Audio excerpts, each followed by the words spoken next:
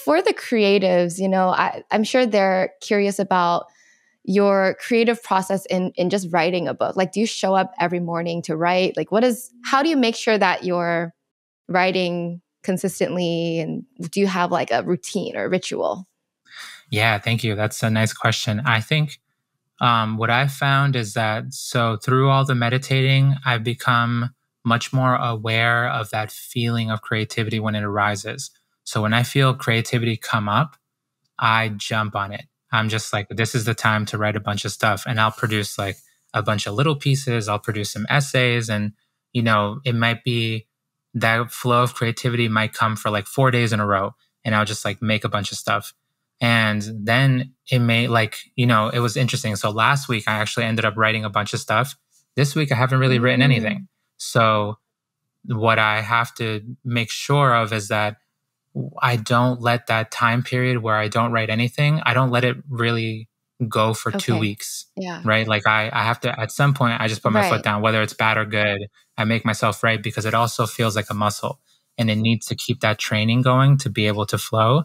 So my writing style isn't like, you know, five pages every day. That to me feels too forced. More so, it's like riding the waves of creativity as they come and go.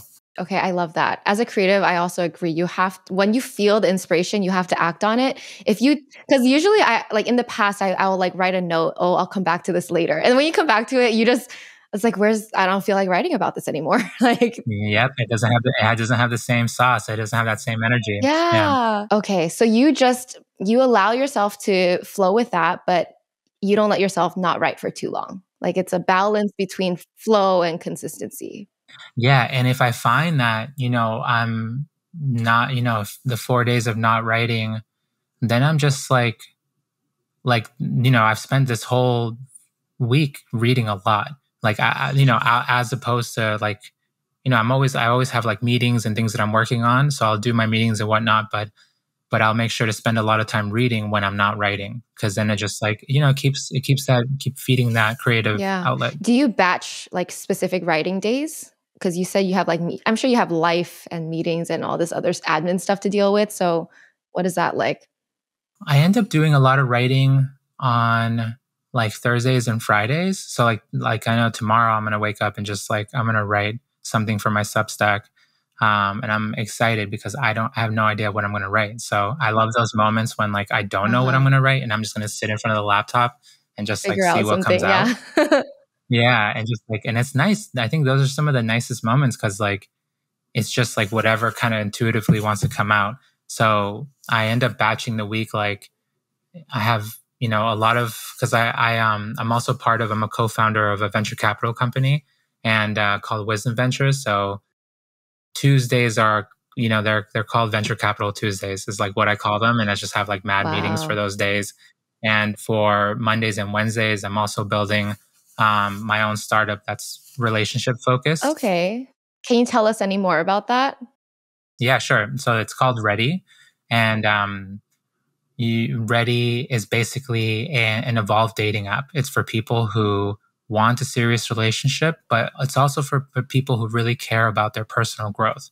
So we've, I don't know, we've come to learn, especially people who are like in the wellness field and whatnot, that if you're able to develop your self awareness, you're going to develop a deeper connection with yourself and with your partner. So that feels like it's something that's not really included in other mm, dating yeah. apps.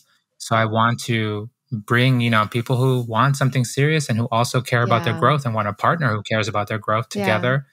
but we don't want to stop there we also want to support the relationship because it's not the type of thing where like okay you might have a connection but there are so many ups and downs in the process of getting to know each other and even when you're an official couple or anything like that there's so much more to learn about like what are good ways to argue what are good ways to you know to improve your communication mm I see. There's some personal growth tips on the platform. Yeah, totally. No, I like that. It is, I definitely see a need because it, it is true. Like when you're on this journey, you obviously want to meet someone who's also on the same journey. Yeah, I'm excited. And we've already, we opened up a wait list. So if anybody listening wants to join, they can go to ready, readyplatform.co and they can sign up to the wait list. Yeah. So with Wisdom Ventures and with this new startup, are you the one that like, I guess how do you get involved in these new projects? Are you initiating or do you just have like a lot of things that you want to do outside of writing? Yeah, outside of writing, I you know during when I was actually writing Clarity and Connection and finishing it, I remember during that time I felt like I was like something's missing. Like there's a whole part of my brain that I'm not really using, oh. and I knew something was coming. And then I think a few like maybe like four or five months after the book was done, and maybe it wasn't released yet, but it was complete. Um, a friend of mine from from the West Coast, from Silicon Valley, he like um, told me about his idea to start Wisdom Ventures. And when when I heard about it, I was like, man, I want to help. Mm. I want to be a part of it. And you know, I was one of the the six co-founders, and I'm just I'm lucky that you know I ended up meeting him from this conference called Wisdom 2.0 that mm-hmm. he runs. His name's Soren mm-hmm. Gordhamer, and fantastic human being. But it's been really fun, you know, just being able to because the whole point of Wisdom Ventures is to invest in companies that are going to try going to serve people well companies that are trying to design their products in a compassionate manner and that are keeping the well-being of the user in mind. So like you know if it's a new app or a new platform and they're taking in all your data and they have your attention we want to make sure that they're not trying to make you more addictive and they're not trying to hurt you in any way because we've seen the harm that's done. Right right. So it's like businesses that have like a conscious aspect to it? Yeah they just they want to help people and they don't want to hurt them. Nice. And then the for ready were you the one that started that yeah that one came to me when i remember i got an email from i think it was from these from this person from singapore and they told me that they went out to a party and at the party they found someone else who followed my work and they like the two of them really hit it off you were their dating app. I know. And that was like the first thing that kind of started, you know, turning the wheels. And then I had conversations with my friends and was hearing about their experiences on dating apps. And like they either had terrible experiences or they had some like semi traumatizing experiences.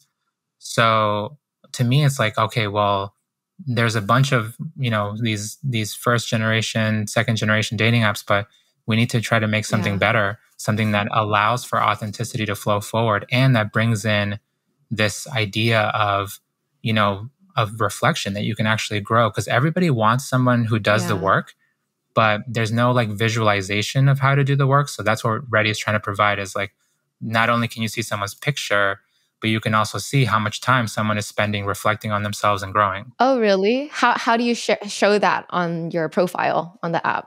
Well, you're going to be able to, so on the app, before you can even see people that you can start chatting with, you have to answer a daily reflection question. Oh. So first you have to reflect and then you can, you know, get the opportunity to, you know, see if there's a spark with somebody. Are you saying like they they get to read your daily reflection answers sort of thing? Or what do you mean? You can make some of them public if you want. It's like almost like your private journal. Like you can have, you know, you'll you'll be like reflecting on yourself over a long period of time, but people will be able to see that you you have a streak. You know, you've been reflecting for X number of days. Oh, that's so interesting. I, am so curious to see how this will turn out. I'll, I'll I'll stay updated with it.